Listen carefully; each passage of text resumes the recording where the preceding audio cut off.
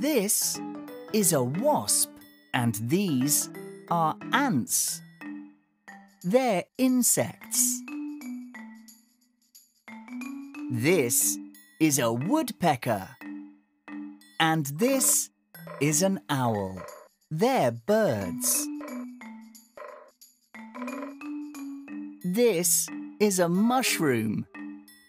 It's a fungus. Forests are very special places.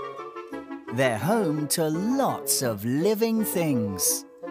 What can you do to protect the forests?